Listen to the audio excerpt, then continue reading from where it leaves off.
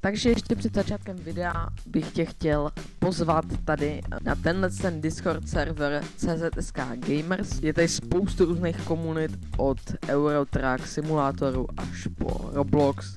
Myslím, že všichni si vyberete a můžeme jít teda na video.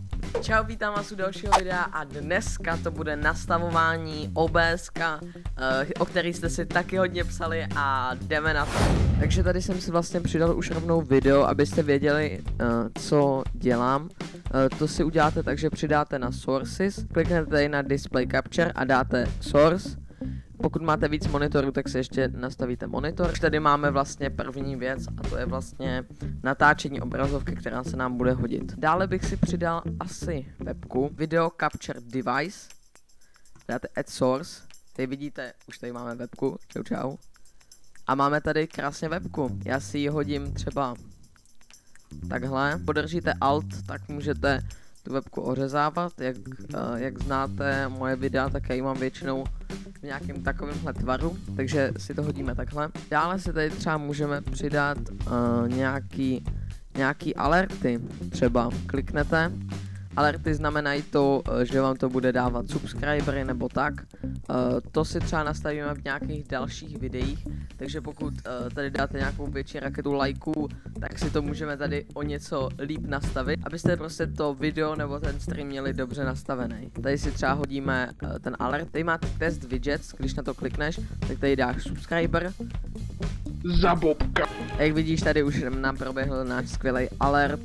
Dále si tady můžeme přidat něco jako třeba donation goal, co máte vlastně na donaty, dáte done a tady, uh, tady máte už vlastně donation goal. Ještě si tady třeba přidáme chatbox, to je vlastně z chatu, uh, ten si třeba hodíme um, třeba takhle vedle vedle toho. Takže jo, máme vlastně takový už menší základ hotový. Ale to, to jsme si vytvořili vlastně jenom jednu scénu. Uh, ta scéna tady je vlastně jako video.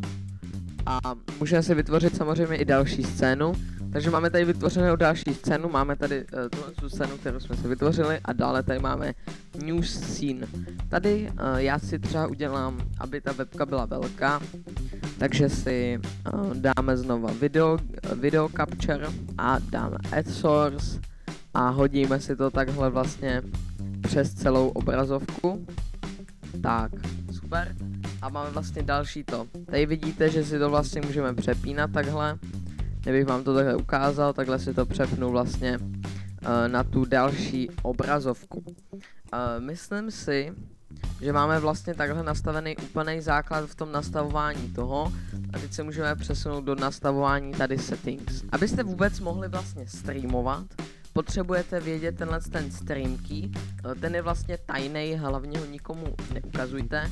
Eh, ten se vám ukáže vlastně, půjdete takhle do vlastně živých přenosů a tady dole máte vlastně ten klíč, když kliknete na zomrazit, tak si ten klíč hezky skopírujete sem, aby se vám to vlastně všechno hezky propojilo. Eh, dále se podíváme na output, ten si když tak můžete nějak nastavit a můžete si tady nastavovat různý, uh, tady to, to máte vlastně na streamování, tady máte různý bitrate a tak a tady máte pak prostě další různý nastavování, který s kterým se dá pak dál pracovat a to si třeba ukážeme v nějakých dalších videích.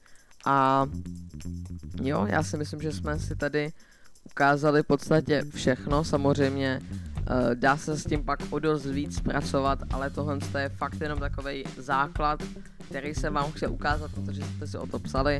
A jo, já doufám, že se vám tohle video líbilo, mějte se krásně a čau.